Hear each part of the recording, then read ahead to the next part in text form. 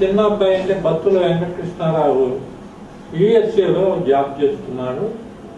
ఆయన వెళ్ళిన తదనంతరం ఒక సందర్భంలో వీసా ఎక్స్పైర్ అయ్యే టైం వచ్చింది.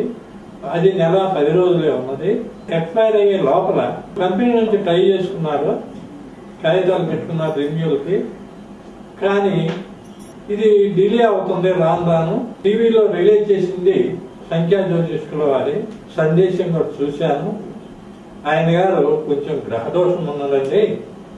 దానిని నివారించేందుకు గాను నేను కొన్ని పరిష్కారాలు చెప్తాను. అవి తప్పకుండా మీరు ఆచరిస్తే ఆ రిన్యూల్ అనే ఆర్డర్స్ ఈసారి కూడా సుగమనం అయిపోద్ది అని అన్నారు. దాని మీద ఏంటంటే ఆయనకి మధ్యవేలికి ఉంగరం ధరించాలి. పోతే ఆయన పేరు అసలు పేరు భక్తులు వెంకటకృష్ణారావు అయితే వెంకట్ అని పిలవడం ఉత్తమము మంచిదని అన్నారు. కొంచెం ఫలితాలు కూడా బాగుంటాయి అన్నారు.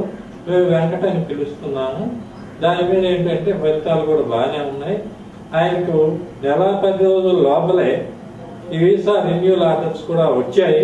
కాకపోతేనేమో దరిమిల ప్రాసెస్లో ఉన్నటువంటి గ్రీన్ కార్డు కూడా సక్సెస్ అయింది. ఓం నమ శివాయ. శ్రీమాత్రే నమ.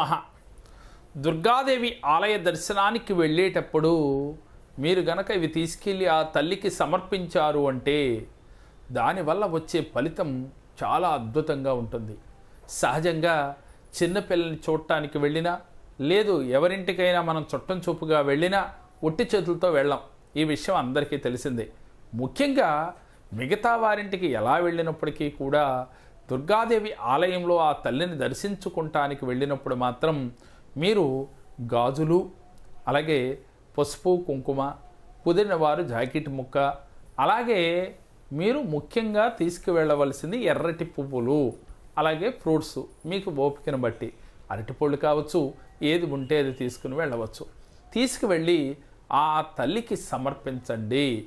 ఇలా ఎన్నిసార్లు వెళ్ళినా నెలకు ఒకసారి వెళ్ళండి రెండుసార్లు వెళ్ళండి మూడుసార్లు వెళ్ళండి. వెళ్ళినప్పుడల్లా ఆ తల్లికి సమర్పిస్తూ ఉండండి. ఎప్పుడైతే ఆ తల్లిని దర్శించుకున్నప్పుడు మీ చేతిలో ఇవి సమర్పించడం ఆ తల్లి చూసిందో మీకు వెంటనే అనుగ్రహాన్ని ఇచ్చి తీరుతుంది అని చెప్తున్నారు మన పెద్దలు. ఆ తల్లికి ప్రీతికరమైనవి సహజంగా గాజులు అలాగే పసుపు కుంకుమ సహజంగా మనకి నిండు మొత్తైదు కాబట్టి జాకెట్ ముక్క ఇవన్నీ మనం పెడుతూ ఉంటాం. అంటే వీటితో పాటుగా ఆ తల్లిని మనసావాచ వేడుకోవటం చాలా ముఖ్యం. మీ మనసు అనే పుష్పాన్ని ఆ తల్లికి సమర్పించడం చాలా ముఖ్యం. వేడుకుని మీ మనసులో సంకల్పాన్ని చెప్పుకున్నట్లయితే తప్పకుండా ఆ తల్లి కరుణ కలిగి మీ కోరిన కోర్కెలు వెంటనే తీరతాయి. మరి ఇప్పటి వరకు మనం ఎవరైనా ఏ దేవాలయంకి వెళ్ళినా కూడా ఉట్టి చేతితో వెళ్ళకూడదనే విషయం అందరికీ తెలుసు. అయితే ముఖ్యంగా కనకదుర్గమ్మ వారి దగ్గరికి దుర్గాదేవి ఆలయంకి వెళ్ళినప్పుడు ముఖ్యంగా ఇవి తీసుకుని వెళ్ళినట్లయితే అనుగ్రహాన్ని శీఘ్రమే పొంది అష్టైశ్వర్యాలతో పాటుగా మనకి సంపూర్ణ ఆరోగ్యం మనశ్శాంతి దుష్టగ్రహ పేడ అన్నీ కూడా తొలగిపోతాయి. కాబట్టి నమ్మకం ఉన్నవారు ఈ చిన్న క్రియ ఆచరించి చూడండి. దాని ఫలితం ఏమిటనేది మీకే తెలుస్తుంది. నమ్మకం ముఖ్యం. నమ్మకంతో పాటుగా ఆచరణ మరీ ముఖ్యం. ఈ రెండూ తోడైతే మంచి ఫలితాలు వస్తాయి కాబట్టి చేసుకున్న వారికి చేసుకున్నంత మహాదేవాన్ని మన పెద్దలు ఊరికనే చెప్పలేదు. చేసి చూడండి. ఫలితం ఏమిటనేది మీకే తెలుస్తుంది. మేం చెప్పిన ఈ వీడియో మీకు నచ్చినట్లయితే లైక్ చేయండి మీ ఫ్రెండ్స్కి షేర్ చేయండి.